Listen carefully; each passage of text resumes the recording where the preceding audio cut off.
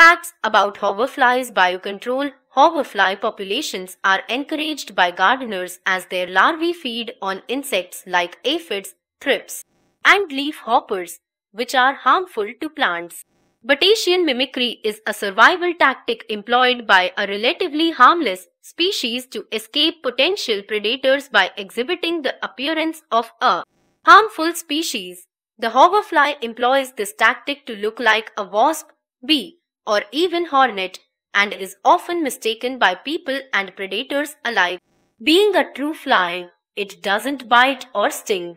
Hoverflies, commonly known as flower flies, belong to the Syrphidae family and hence they are often also called syrphid flies. They get their common names from their habit of hovering over flowers in order to feed on nectar. Due to their diet of nectar, they also act as pollinators. According to the Encyclopedia Britannica, there are close to about 6,000 species of these flies. They are commonly found throughout the world on all continents except Antarctica. How to identify a hoverfly? Adult hoverfly The easiest way to identify a hoverfly is via its characteristic hovering, as bees and wasps do not hover much. Other ways to differentiate them involve close physical examination of the fly body. The bristles on the dorsal thorax are short and soft, and the antennae on the head are shorter than those of wasps. These flies are true flies belonging to the order Diptera and hence have only one pair of wings and not two pairs as in the case of bees and wasps. The wings of the flower flies also show the presence of a longitudinal vena spuria, which is a false vein that ends abruptly along the wing. The wing also has two cross veins, upper outer and lower outer cross veins. What do they look like? Eyes of a male hoverfly males have larger eyes that are placed close together such that they form a triangular structure.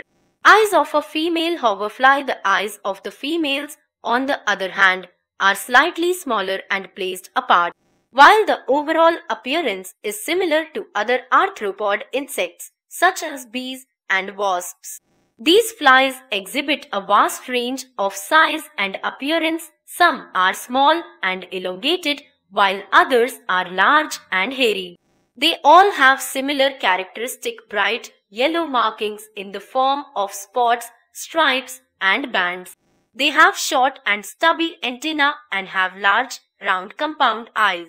The eyes are larger in case of males and help them recognize females more accurately. The eyes can also be used to differentiate identify the sex of these flies. Where do they live?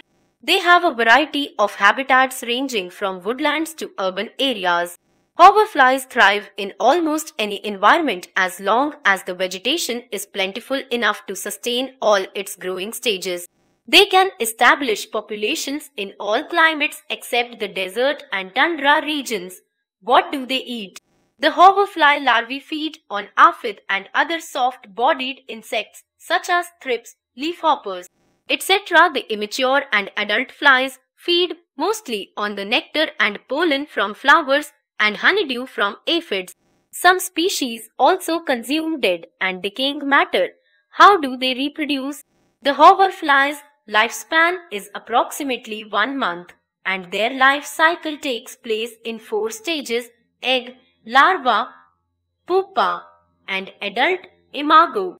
The period of their life cycle varies with the seasons. It spans three weeks in summer, whereas in winter it spans a period of nine weeks.